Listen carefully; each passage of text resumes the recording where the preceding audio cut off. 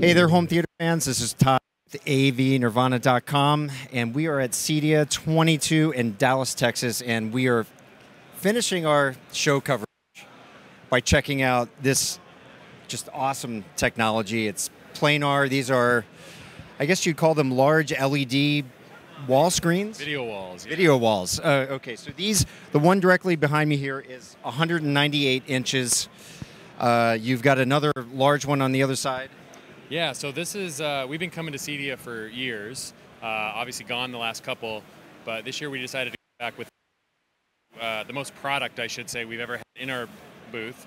Uh, so we have multitudes of LED video walls here, and uh, this we have all sorts of shapes and sizes you can dream up. But kind of the big focus at this show is we brought uh, a 205-inch 0.9 micro LED video wall in a CinemaScope aspect ratio for all the home theater nerds.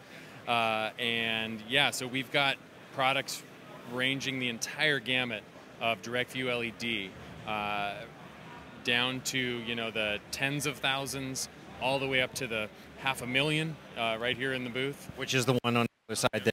Right, yep. Uh, these video walls uh, in our Luxe family contain a lifetime warranty and include everything the customer needs to run the video wall. So the processing, the cabling, uh, they have built-in video wall tiling, uh, and these products also feature a lifetime warranty, which is unprecedented in the industry. Right. So white glove service from purchase, Yep. getting it into your home, and you're treated to a dazzling show. I mean, the the, the output of brightness on the the uh, wall on the other side there is insane. Yeah, so we're actually running it at a little bit more than half brightness. Uh, that 0.9 micro I mentioned is capable of 1600 nits sustained. It's not a peak brightness. It can do that all day, every day. Uh, we're running it at 1000 nits.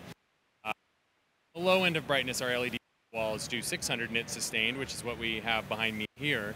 Uh, something else we brought to the show, and, and we've been doing this for years. Some of these products launched in the last six months or even as a year and a half ago. Uh, but this is now a lot of these people's first chance to see it with their own eyes who don't normally get to see it. But we're also debuting at the show our first fine pitch outdoor LED video wall. We've been in the outdoor space for years, uh, but normally it's more like big, you know, billboard size type things. Uh, but now we have uh, high res indoor, uh, out, high res outdoor, so it is actually you know attainable and usable for normal normal uh, normal size houses. Right. Yeah.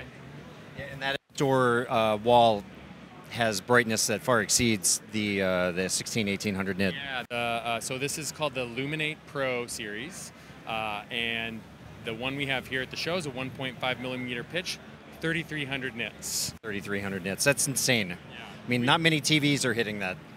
Mm, If they do, they're claiming it as their brief burst peak. Uh, we're talking all the time, all every day, competing with the sun, uh, and we're running it at a thousand nits, a little over a thousand nits here at the show because uh, you know we're trying to avoid migraine-inducing brightness to our poor neighbors. So For sure. Um, you were telling me that the, the indoor versions are frameless, uh, which is interesting. yeah, so all of our fine pitch LEDs uh, are under four inches installed depth, which you can kind of see behind me. Uh, front access, front service, they they all get installed from the front.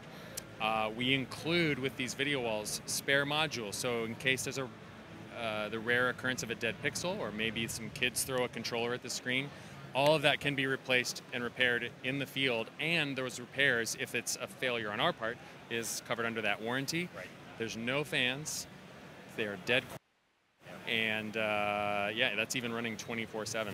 Very little heat at all getting close to the screen, as far as I could tell, Relatively speaking. relatively speaking. Uh, when you're talking about a display this bright, uh, the heat can be proportionate to how bright they are. But to get the same amount of light output out of an alternative video technology, uh, first of all, those kind of brightness levels aren't even possible. But even to get close to that, those devices put out more heat.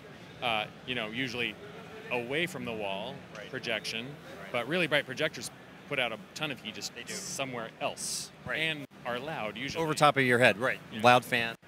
Yeah. So yeah, these are dead quiet, fanless, and we're talking 24/7 all the time running if you want them to be that way. And before we go, um, we were having a conversation about the different kinds of micro LEDs, and I found it really interesting uh, because a lot of people look at these giant walls. There's the you know various other competitors of yours have giant walls, and um, I wasn't aware that there was that much variation, both in terms of performance, which makes sense, but also price and how that up. And the giant uh, cinema um, you're saying is basically the top shelf micro. You just a quick rundown of kind of how that Yeah. world works. Uh, so I'll try. Learning all the ins and outs of LED, we always describe it as the wild, wild west. There's a lot to learn. But in general, and we're constantly evolving and introducing new stuff. We're always on the cutting edge. We always, we tend to always introduce the tightest pitch before everybody else. So because we are the leader of this uh, technology, we do it all on our own.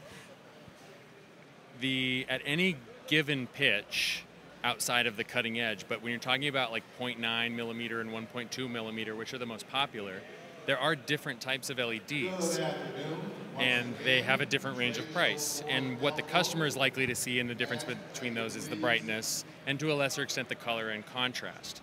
And so, a 0.9 LED at the at the sharp edge of that for performance and price is micro LED, which we do, and there's different types of micro LED, but that's a conversation for another day.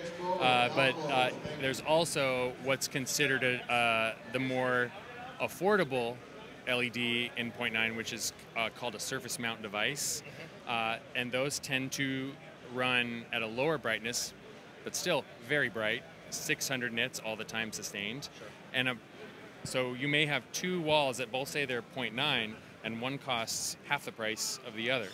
And one of our strengths as a company is we do it all. So uh, instead of having one or two video, uh, LED video walls uh, and it either meets your needs or it doesn't, because this is our industry, it's what we do, it's the only thing we do, we have a wide, wide, wide, wide range of LED video wall products and prices. Yo, so, uh, so look, look, listen. I really appreciate you uh, taking the time to tell us about these. These panels are amazing. These walls are just gorgeous.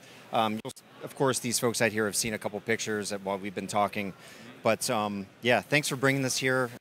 Uh, thanks for hanging out with us. My pleasure. All right, folks, that's all we have from CEDIA 2022. Uh, check out our channel for more about what we've seen here, and uh, we'll catch you over on the forum.